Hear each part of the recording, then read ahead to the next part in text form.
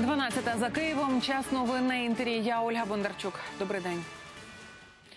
Сьогодні 70 років операції Вісла. Це примусова депортація українців з етнічних українських земель східної Польщі на північ країни, яку проводила польська влада у квітні-серпні 47-го року. За різними підрахунками тоді було депортовано від 150 до 180 тисяч людей. Сучасні історики називають операцію Вісла етнічною чисткою або ж геноцидом польських українців з боку Москви. І порівнюють депортацію татар та інших народів, які жили в Криму. А дехто проводить паралелі з діями нинішньої російської влади на анексованому півострові і на окупованих територіях Донбасу. На сході країни за минулу добу загинув наш боєць. Семеро поранені. Загалом зафіксовано понад півсотні обстрілів з боку російських загарбників на приморському напрямку з мінометів, БМП і великокаліберних кулеметів. Бойовики гатили неподалік водяного. Обстріляли також Мар'їнку і опорні пункти неподалік Красногорівки. На Луганському напрямку з гранатометів окупанти накрили позиції українських армійців в районі станиці Луганської і Сизого. Захисників Широкиного обстрілював з озброєння бронетранспортеру, великокаліберних кулеметів та стрілецької зброї, а оборонців Новотроїцького з гранатометів різних систем та стрілецької зброї. Поблизу Павлополя та Мар'їнки діяли ворожі снайпери. У Зайцевому, що під Горлівкою, давно забули, що таке тиша. Вибухи і постріли лунають там мало не цілодобово. Снайпери і кулеметники посеред білого дня відкривають вогонь і по військових, і по цивільних без розбору. Із селища, розділеного навпіл лінії розмежування, повернулася наша знімальна група. Микола Петрович повертається додому навпомацьки. Ну тут хоч біле, що то бачу. Дідусь майже сліпий орієнтується так, де біла пляма, то стежка. Вдома його чекає дружина, інвалід. Їхній будинок на лінії вогню без зупину обстрілюють бойовики з окупованої частини села. Після цієї ночі на подвір'ї нові руйнування. Ляють кожную, кожную ночь. Мы с бабушкой вот сидим, вроде лягли, вроде тихо. Десять э, вечера, как начали молотить опять. И опять же почти часа два подряд. Дивіться, осторожно. Бачите, наблюдаєте конкрету? От туди простріли йдуть. Тобто е, ззаді теж там от простріли йде. Сергій показує відстріляну і зрішечену ворожими кулями РПГ. Це яскрава демонстрація щільності ворожих обстрілів. А калібр уже можна визначити з металу поряд. У нас працювали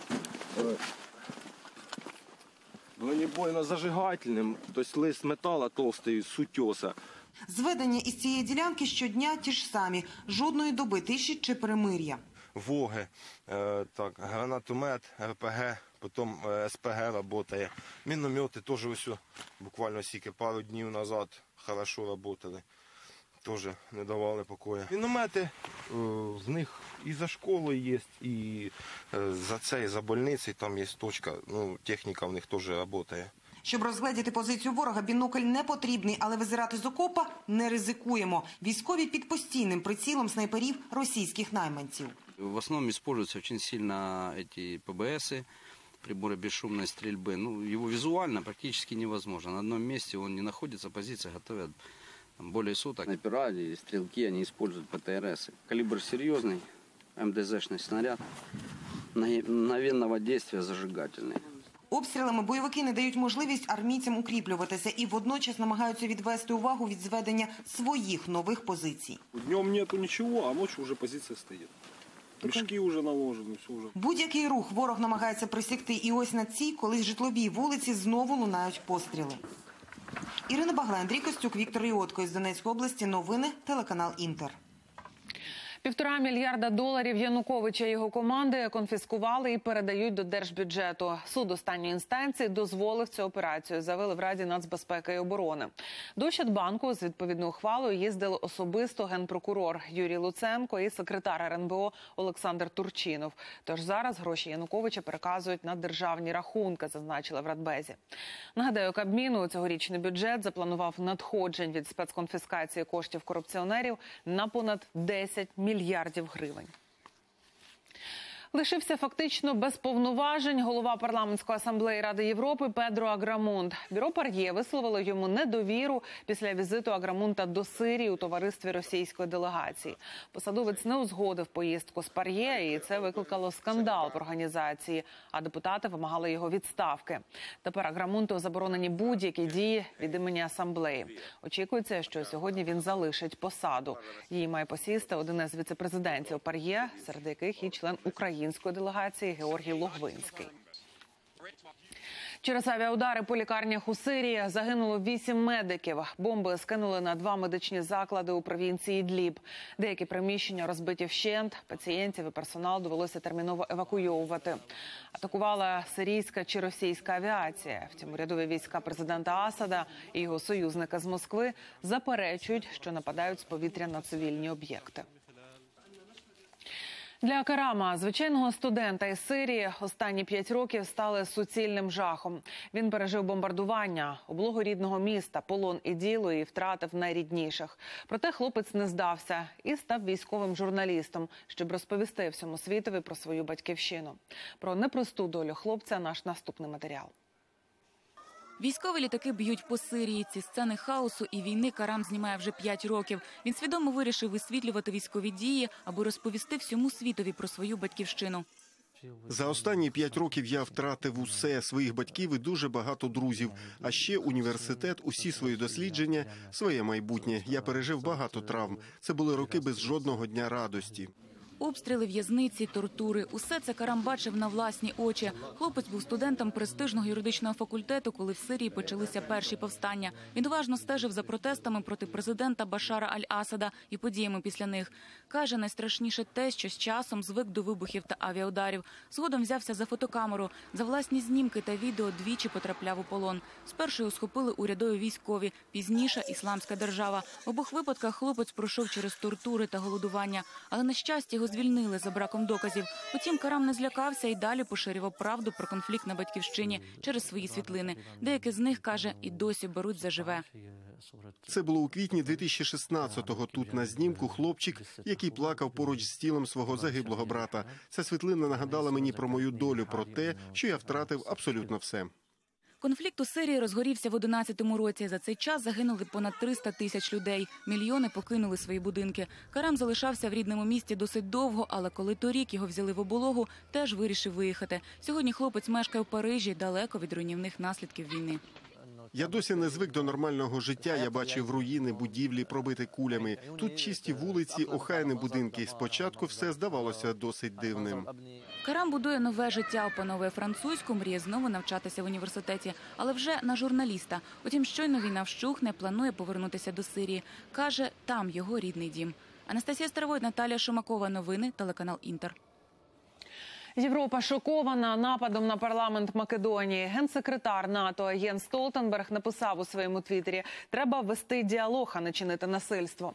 Засудила напади на членів парламенту у Скоп'є і високопредставник ЄС Федеріка Могеріні. У своїй заяві вона підтримала нового спікера парламенту. Саме через те, що на цю посаду брали етнічного албанця, прихильники провладної партії і влаштували бійку. Протести в Македонії тривають два останні місяці. Влада протягом кількох тижнів успішно перешкоджала коаліції сформувати новий уряд і обрати спікера парламенту. У Лондоні всю ніч тривали антитерористичні рейди. Затримали чотирьох людей. Одну жінку поранили. Напередодні біля офісу прем'єр-міністра на Даунінг-стріт затримали чоловіка, що готував атаку. При собі підозрюваний мав два ножі. Його вчасно зупинили. Тому і вирішили провести антитерористичну операцію. Це вкотре доводить, що наша поліція та спецслужби працюють на відмінно. Вони всі у стані підвищеної готовності. Я хочу висловити глибоку подяку цим людям, яких ми зазвичай не помічаємо, але чия робота надзвичайно важлива. А в Берліні поліція стріляла в чоловіка, який цілився у поліцейських біля однієї з лікарень. Вони зреагували миттєво, вистрілили у відповідь і поранили злочинця в ногу. Які мотиви були в нападника? Тепер з'ясовують. Підозрюваний перебуває у тій самій лікарні, під, під якою усе сталося. Ми лише розпочали слідство. Підозрюваний 27 років потрапляв у поле зору поліції за незаконне володіння зброєю. Він німець народився у Мюнхені. Більше поки що не можу сказати. В Німеччині заборонили паранджу. Бундестаг проголосував закон, який не дозволяє носити в громадських місцях мусульманський одяг, що закриває обличчя і лишає вузьку щілину для очей. Паранджу, бурку і нікаб. Вести заборону на такий одяг закликала німецький канцлер Ангела Меркель наприкінці минулого року. Першими ж виступати проти паранджі стали французи. Носити її в громадських місцях Ніколя Саркозі заборонив ще 2010 року. А після теракту на набережній Ніци під заборону потрапив і мусульманський купальник Буркіні. Теракт у Колумбії там підірвали другий за величиною нафтопровід країни. Належить він американській компанії, яка відповідальність за напад покладає на місцевих лівих повстанців. Роботу нафтогону тимчасово припинено. Збитки компанія ще підраховує. А от шкоди довкіллю завдано чималої. Через витік нафти забруднився водогін, який обслуговує 3,5 тисячі жителів провінції Норте де Сантантер. Кілька людей отруїлися. Четверта страта за тиждень в американському штаті Арканзас. До цього місцева влада не застосовувала смертної кари понад 10 років. Адвокатам засуджених часто вдавалося домогтися відтермінування на виконання вироку. Тепер же влада активізувалася, бо 30 квітня збігає термін придатності отрути для смертельних ін'єкцій. А останнім часом препарат дедалі важче придбати. Європейські виробники припинили його постачання до Сполучених Штатів, бо виступають проти смертної кари.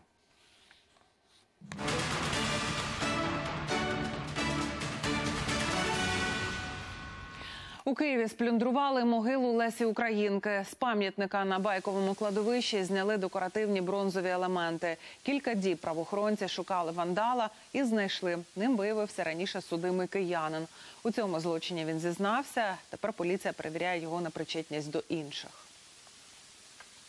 Ці бронзові прикраси е, з пам'ятника Лесі Українки. Він частину здав на металобрух, частина ще в нього лежала. Е, Гроші отримані витратив на е, наркотики та на спиртні напої. Відносно нього розпочато кримінальне провадження наруга над могилою. Слідство клопоче про обрання запобіжного заходу тримання під вартою. У Хмельницькому одночасно захворіли дві сотні учнів молодших класів. У всіх однакові симптоми, схожі на отруєння. П'ятеро зараз в інфекційній лікарні, решта поки що лікуються вдома. Що саме підкосило школярів разом із фахівцями з'ясовували мої колеги. Класи напівпорожні у школі паніка. Мама восьмирічної Дарини каже, доньці після шкільного сніданку стало зле. Підвищилася температура, почалася блювота. З такими ж симптомами більше сотні учнів початкової школи. Я би хотіла почути роз'яснення нашої директора школи, чому так сталося, що це, по словам дитини, масове отруєння, і чим годують наших дітей, що їм настільки зле. Тому що я дуже дуже зла. Директор школи каже, у їдальні завжди дотримуються санітарних норм, а продукти всі свіжі і мають сертифікат якості. Тож пояснити, чому захворіли діти, не може. У меню напередодні була копчена ковбаса, квашена капуста, сосиски та запіканка. Діти звернулися до медичної сестри е, після того, як вони е, прохарчувалися в їдальні. Але харчувалися всі. Всі і перші, і другі, і треті, четверті класи. Випадки чомусь е, були тільки е, у дітей перших других класів. Ми почали проводити внутрішнє розслідування, взяли списки, хто у нас хворіє. Ну це, це зараз у нас в дії. Зараз ми цим займаємося. Власне розслідування проводять фахівці Держпродспоживслужби та експерти обласного лабораторного центру. Вони не виключають, що дітей могли заразити кишковою інфекцією самі кухарі. проводиться відбір проб харчових продуктів, е, досліджують, е, відбираються змиви на харчоблоці. Ми працюємо стосовно е, доведення можливості передачі інфекційного агента від е, працівників харчоблоку до дітей, або або можливо порушення технологічного процесу приготування тих чи інших страв.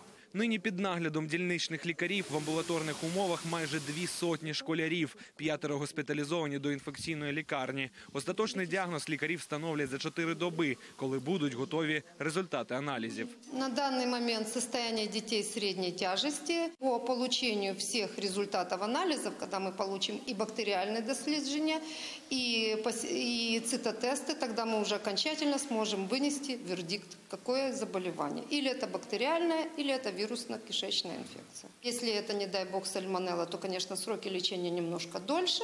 Вот. Вирусная кишечная инфекция обычно лечится быстрее. Через масове захворювання дітей молодшу школу навчального закладу вже закрили на карантин. Як довго він триватиме, поки що невідомо.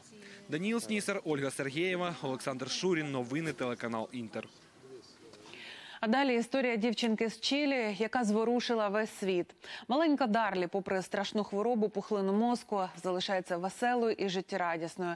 Чим вона так надихнула людей, розповість Оксана Кундіренко.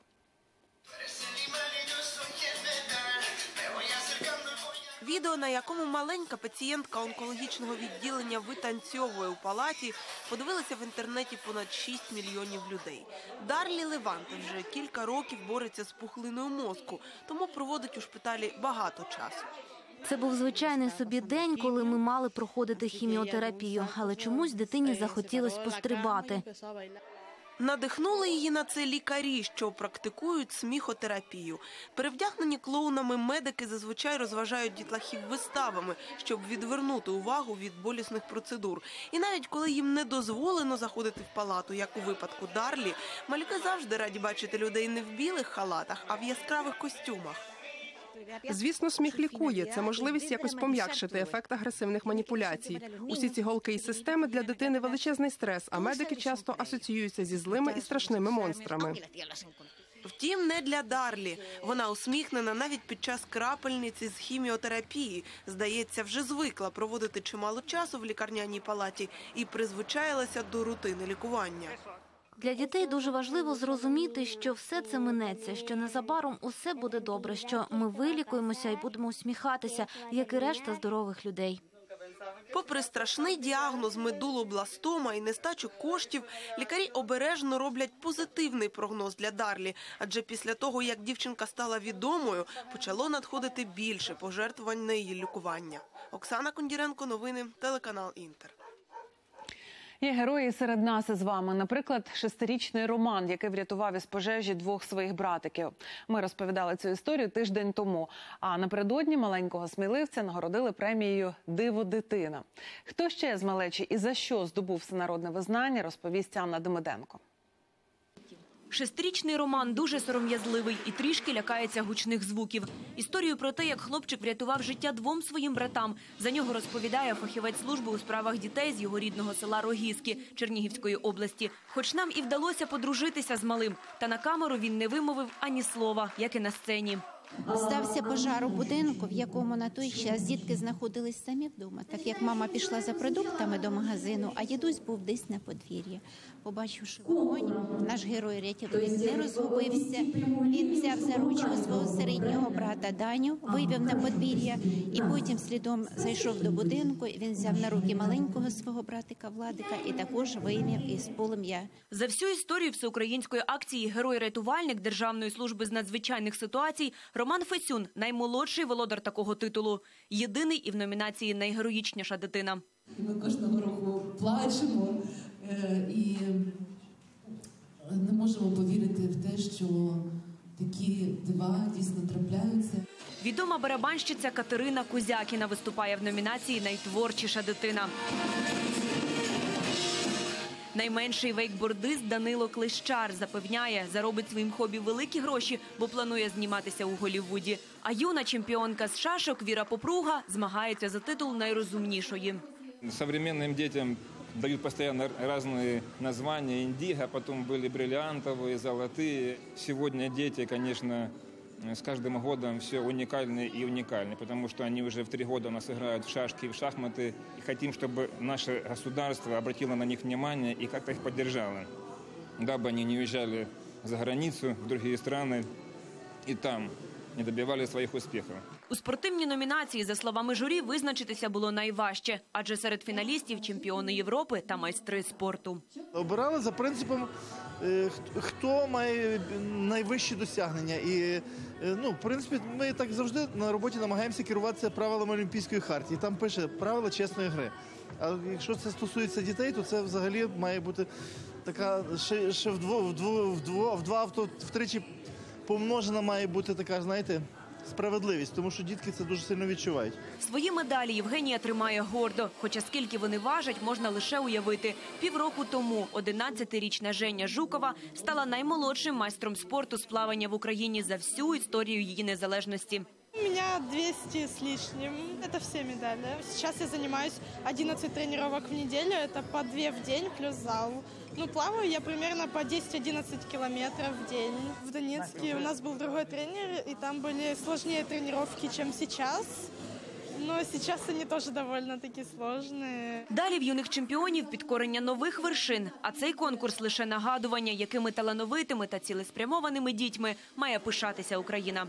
Анна Демиденко, Богдан Савруцький. Новини телеканал Інтер. У Багдаді проходить фестиваль квітів. Чорнобривці та петунії, тюльпани і нарциси. На них приходять подивитись цілими родинами. Флористи створили скульптури у вигляді метеликів, побудували квіткові замки, навколо яких б'ють фонтани. Для країни, де точиться війна і повсякчас стаються теракти. Фестиваль квітів це натхнення і надія на краще майбутнє. Це свято намагаються влаштовувати щороку, щоб якось розважити людей. Вони мають подивитися на щось красиве, а не лише на сліди збройного конфлікту.